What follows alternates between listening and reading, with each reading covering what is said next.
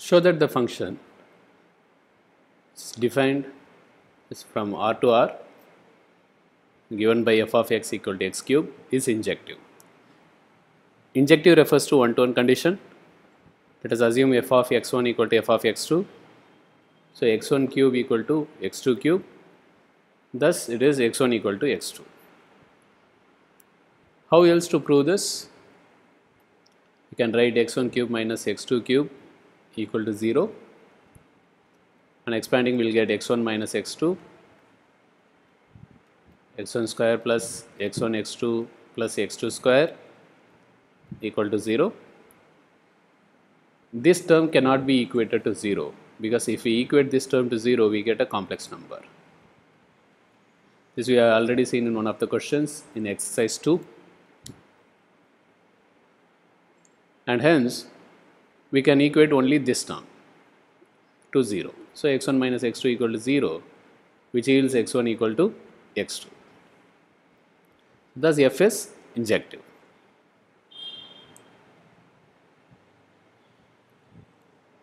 Now, the next question we need to give examples of two functions f and g such that the function of functions or composition of functions GOF it is injective but g is not injective. So, we need to find functions that gives GOF is injective but g is not injective. So, there is uh, no mention about f of x or uh, f and hence we will take a simple function f of x equal to x. Since it has been told that g is not injective and g is mapped in integers, we can write g of k equal to mod k because mod k is not 1 to 1. So, g looks something like this. So, domain has all integers negative and positive. Codomain also has all integers negative and positive. So, if it is mod codomain equal to mod k for one particular k value if it is negative it is also mapped to positive value here and this is also mapped here. Let us say this is minus 1 and 1 and this is 1 which is true. Hence it is hence it is not injective. So, we have satisfied this condition and we can split g of k as g of k equal to k for k greater than 0 and g of k equal and g of k equal to minus k for k lesser than 0. Thus, GOF is nothing but g of f of x which is equal to g of x which is equal to mod x again. So, GOF and uh, g it seems one and the same. But how come this GOF can be injective?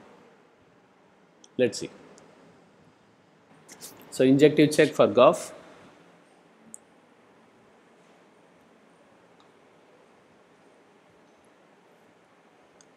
So, the domain and codomain for GOF.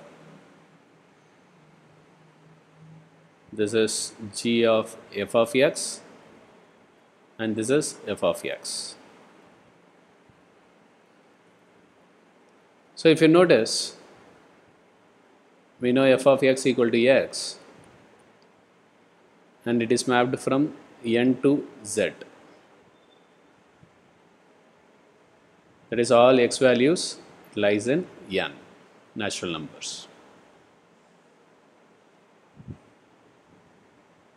So, technically f of x also lies in natural numbers. That is only the positive numbers in f of x they have pre-image in domain. And technically f of x is mapped from n to n for f of x equal to x. Because x belongs to n and f of x also belongs to n because there is no negative number here and hence we are ignoring the negative integers and hence we are taking only the positive integers here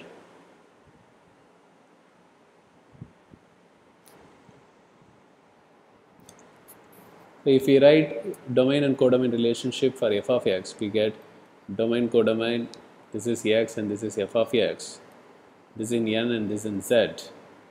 So I'll have a lot of all the positive numbers here and here negative and positive numbers. Since f of x equal to x, only positive numbers they will have a pre-image in domain. That's the reason why we say technically f of x is mapped from n to n not n to z. Now coming back to Goff, so domain is defined as f of x and codomain is g of f of x. So we said f of x is mapped from n to n and hence all natural numbers are positive numbers here and g of f of x. g of f of x we know G is defined in Z and hence it can contain negative and positive numbers. However, all the positive numbers here in the domain they have an image in codomain, a unique image in codomain.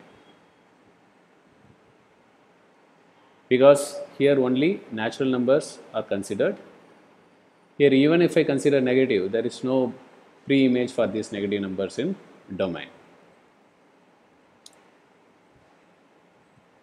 And it is unique as well because I cannot get same codomain value for two different positive values of domain elements in mod, in mod function.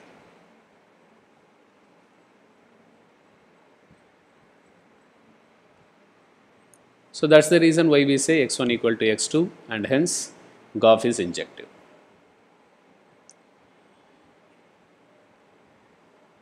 Now injective check for uh, G, that is G of x. So this already we have discussed. So obviously G of minus m equal to m and G of m is also equal to m. Thus for two values of k we get same value of G, thus it is not an injective function. So f of x equal to x and uh, and g of k equal to mod k. These are the two functions or examples of two functions that satisfy the given condition.